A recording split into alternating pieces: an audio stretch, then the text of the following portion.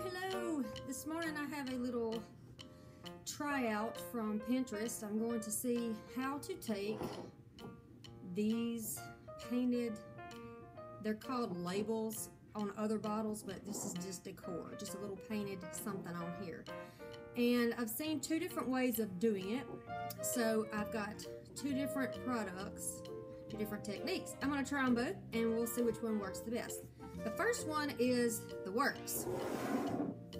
The directions say, um, not verbatim, but the directions say that you take the works, you take your bottle, fill it with hot water, submerge it in a vase, then you want to put enough of the works in there to cover up the top of where the label is.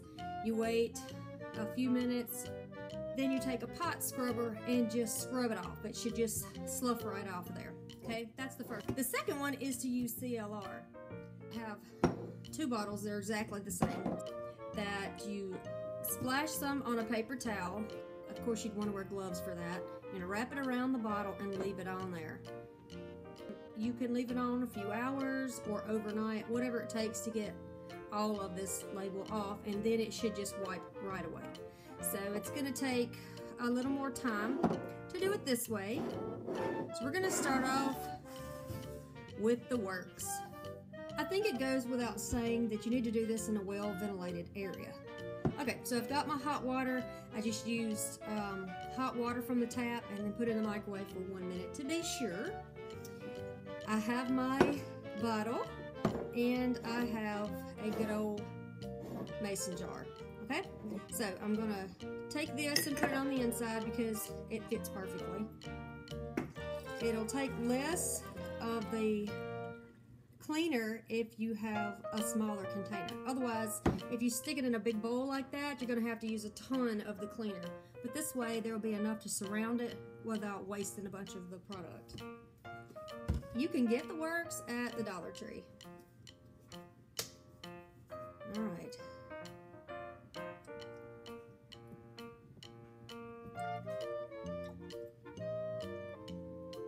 So I'm not putting this in the bottle, I'm putting this on the outside of the bottle, between the jar and the bottle.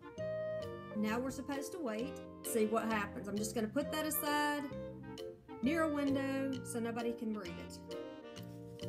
So on the next one, I'm just gonna put on my good old stained up cleaning gloves. You can also get these at the Dollar Tree. And I'm going to and I'm gonna put it on this towel. It's just two large paper towels folded together. I'm gonna step back a little bit. Okay. I think that should be enough for that small bottle. Here's my bottle. I'm gonna put it face down like so and wrap the paper towel pretty tightly. Just while it sets is to stick it inside of a jar. That's gonna hold that paper towel next to it, keep it pretty secure in there. Then I'm gonna put it on a non-porous surface and I'm gonna let it sit, just as the instructions say. Also, I referred back to my recipe on the CLR, which was the second one, and it said that she stored it in a Ziploc bag overnight uh, when all the paint didn't come off. I'm just going to go ahead and put it in one, but I'm going to leave it open. I don't want anything to explode. I'm kind of scared of that. Like this, for an hour. I have set my timer with Alexa for this one. And I have set my timer with the other one on the microwave. So, 15 minutes the first one will be done. And in one hour, the second one will be done. And we'll check in and see how things are going. And I'm excited to see if this is working yet. Now remember, the first one we're checking is the ones with the works, um, tub and towel or tub and shower, whatever it's called. So we're gonna try that one first. See if it looks like it's coming off. It's been a full 15 minutes. So just looking at it this way, it doesn't look like anything's coming off. But here's a scrubber. So let's just, just give it a shot and see.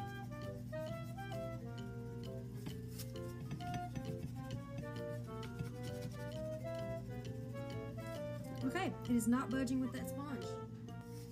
Okay, I absolutely cannot stand steel wool, but it does have its place. So, let's just see if this is what they meant by pot scrubber. Oh, well would you look at that? Maybe this is what they meant by pot scrubber.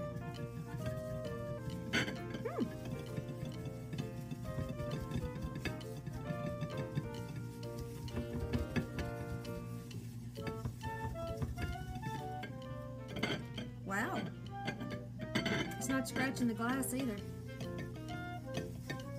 Now some of this here, this is from the label. The sticky label that was on there. Hmm, I took that off too. Wow. All right. I'm gonna rinse this bottle off real quick and then we're gonna take a quick look at it. So this is the first bottle. What you're seeing on the inside is there's not a scratch on the outside. That's actually water beads. Let me get those out to show you that it um, it didn't even scratch the glass. There we go, sparkling clean, like it never ever had a label on it. I'm right here in this window. You could probably hear my air conditioning unit running, and if you can, I apologize for that annoyance, but to open the window. Got to keep some good ventilation in here. So this is what we have. A beautiful little glass, and I am so excited about this. I am so excited. Honestly, I don't need another option if this one works. So let's get the other one out and see what it looks like after 20 minutes or so. So we're gonna try this the same way as we did the other one, same routine. Here it is. If you'll remember, we had it in Ziploc. And I put it in the jar to keep it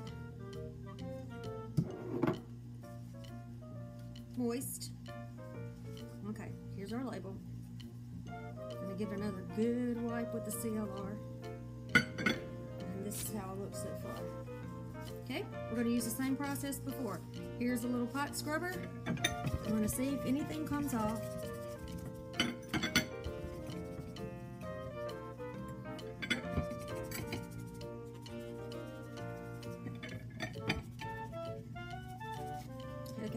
Nothing's coming off. So I've taken a fresh steel wool and we're gonna try it this way.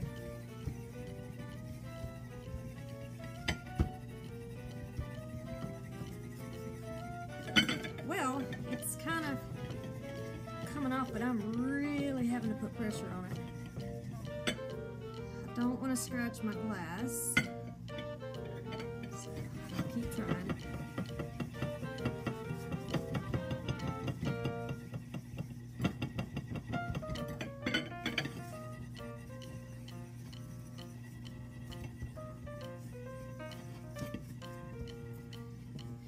Okay, so, whew, I'm telling you, if you had arthritis, this would not be the option for you. You would want to do the other one because it came off a lot easier. I've really had to put some elbow grease into this one. Let me go rinse it and dry it and we'll check it out. Okay, let's take a look. It looks like everything came off. Again, that's that's water on the inside that you're seeing. I don't see any marks on the glass like it was scratched from the steel wool. It looks like a little bit of sticker residue was left on there. So I think the works got the the, uh, the price tag sticker residue off a little bit better. And there's a little spot right there that still didn't come off, despite me really working hard at it. Mm. But there it is, it's off now. But it took the rest of the sticker that was off on the bottom, the price sticker that was on the top. It was a little more difficult, but it did come off. So, this is our CLR bottle. This is our Works bottle. Which one, in my opinion, worked the best? I'm going to have to go with the Works. It was a lot easier to take off. However, the instructions said a pot scrubber. To me, this is a pot scrubber. You know, it's like a sponge with a little rough side. This would be a pot scrubber. And it didn't work on either one. But the steel wool, on the other hand, worked on both of them. This one took a lot more pressure and work than the works. pretty much the works was like just rubbing around and it came off. This one, I really had to, really had to put some, uh, to exert some strength and power into this one. So both of them worked and I'm so excited because I have projects in mind for this. Have one more jar to do and I'm doing it in the works just to show you. You know the process. I didn't use this one as a control because this one has a different, has some different colors and only have one like this. So guys, I got these jars, 10 for $1. Right, but there were only three left, so I got the three they had. So for 30 cents, I got these, took the little, taking the labels off, and I'm gonna use it for a little project for my farmhouse. So I hope that you all stay tuned. Let's see how this little guy turns out. We are back with the third and last bottle.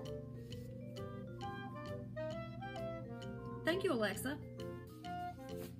I am back with the very last bottle and I am ready to see how the works worked on this bottle that has um, some color in it. Instead of just black and white, it's got some color in it. So I'm gonna take this to the sink and empty it out and I'll be right back. All right, and if you'll notice, there's still a sticker on the bottom. Very easy.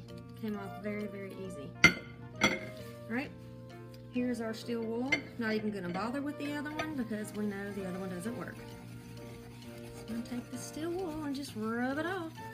And it's coming off so easy just very, very easily.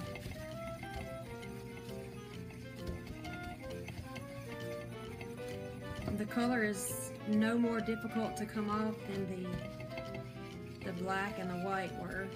So that's good. You can see it, all that paint just sloughing off there.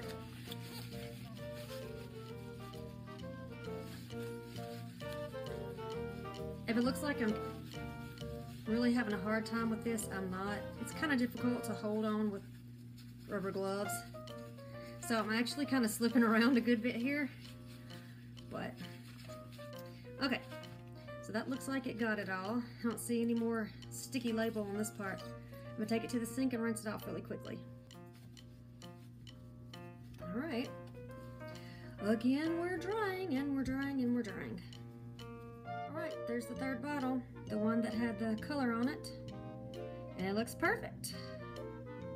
So I got some water that I didn't get off. But anyway, yes, I think the Works is going to be the one that I use from now on. And I really never knew before I saw on Pinterest that you could even do this without scratching up the glass. So this is very impressive and I will give credit below on the woman who posted this because this was very, very helpful.